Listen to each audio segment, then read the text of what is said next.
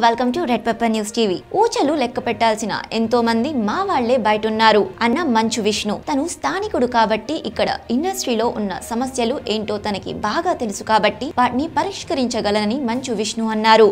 అంతేకాని తెలుగు వ్యక్తి మా అధ్యక్షుడు కావాలని తాను ఎప్పుడూ చెప్పలేదని ఆయన పేర్కొన్నారు.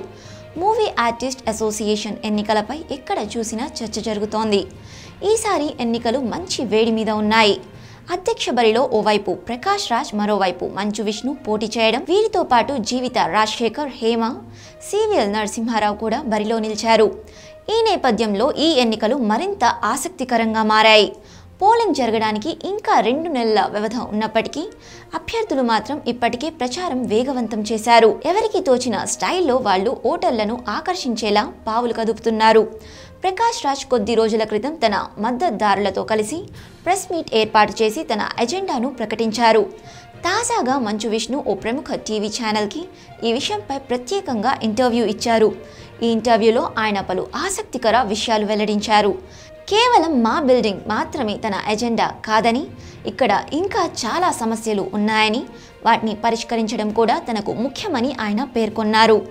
దీంతో పాటు మా బిల్డింగ్ కోసం సహాయం చేసేందుకు ముందుకు వచ్చిన నందమూరి బాలకృష్ణకి ఆయన ప్రత్యేకంగా అభినందనలు తెలిపారు. బాలకృష్ణ తన తండ్రి సమానుడు అని అలాంటి వ్యక్తి చెప్పిన పనిని తప్పకుండా చేస్తానని ఆయన అన్నారు.